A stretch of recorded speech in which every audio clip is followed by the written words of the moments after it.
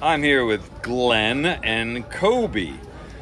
Kobe's number is A5550868. He's two years old or thereabouts, probably a Siberian Husky mix, neutered male, cream or white. He came in around 5-2 of this year. Again, he's a stray. Again, his ID number, if I didn't say it, is A5550868. And Glenn's going to tell you more about Kobe. Yeah, so Kobe's uh, he's uh, got young energy. Uh, watch out when he's on a leash. He can be a little reactive when he sees other dogs. Right now, we're recommending he be the only dog in the house. Uh, but if you bring him home, you're going to love him. He loves you. Uh, he likes to snuggle. He's very, um, I don't want to say clingy, but he likes to lean on your leg. Uh, he's also quite smart. He's been trained. He knows sit. He knows shake.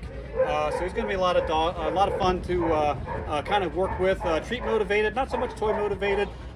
youthful energy. So watch it. If you've got low fences, he's probably going to get out. Um, indoor dog, for of course. but if you've got a backyard, just make sure your fence is high enough to keep a husky in for Fourth of July.